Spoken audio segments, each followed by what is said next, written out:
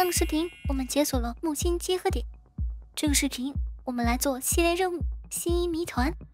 这个任务是紧接系列任务“被偷走的梦”，我们要去中继站寻找中枢 Semiris，寻找上一个系列任务中听到的一个神秘声音的源头。但在此之前，我们要帮助他寻找他丢失的守库，跟着黄色任务点找到关押着守库的监狱。打碎沙叶，从这里的通风管道进入监狱内部，解锁监狱大门，找到守库。雷妈认为中枢 Simiris 对我们有所隐瞒，让我们去入侵这里的数据终端，取出安全日志，自己去发现真相。这是金库解锁的步骤。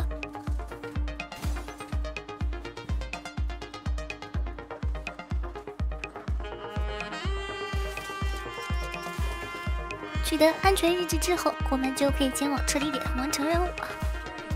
返回登陆艇后，经过分析，连马表示我们提取的数据已经腐化，但是他还是设法提取出一个生物特征的片段。奥蒂斯执行特征分析以后，系列任务被偷走的梦中的那个神秘的声音再次出现。雷蒙让我们再去寻找中枢 Simris。发现它到底隐藏了什么？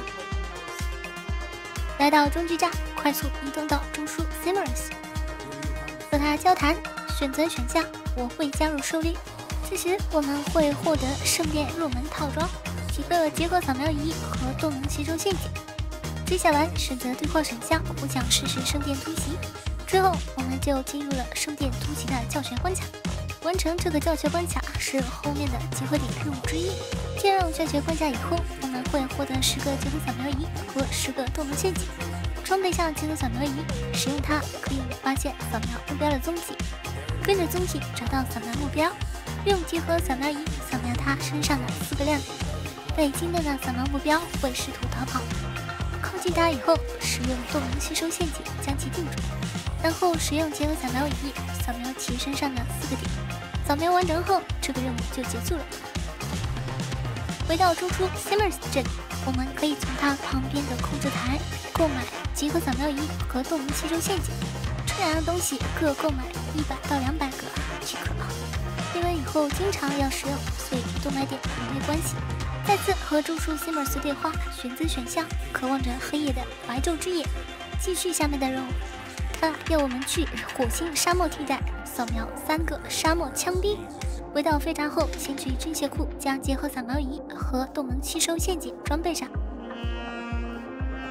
来到星图导航，火星上所有闪着光的节点都可以发现沙漠枪兵。阿瑞亚比较喜欢去开破坏任务，大家可以根据自己的喜好自行选取其他任务节点。进入任务后，装备上结合扫描仪，寻找扫描目标的踪迹。当扫描目标在附近时，中枢 Simmers 会提醒我们，扫描目标也会被黄色的光标标示出来。使用动能吸收陷阱定住目标，然后使用结构扫描仪扫描目标身上的四个光点。扫描完成后，屏幕上方会提示扫描任务进度，Simmers 也会告诉我们扫描目标完成。因为前面我们做了很多的自杀任务，黑影追猎者，也就是小黑。会在任务中试图刺杀我。小黑出现时，屏幕会闪烁，之后小黑会说一堆废话。任务的警报等级会达到最高级，有大门的地方会被锁住，将我们限定在这个区域当中。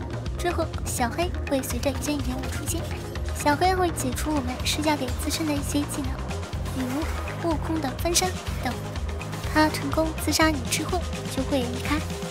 当你成功将他击败以后，他也会离开，而且会掉落一些武器蓝图。成功完成三次沙漠枪兵的集合扫描以后，我们就可以继续下面的任务。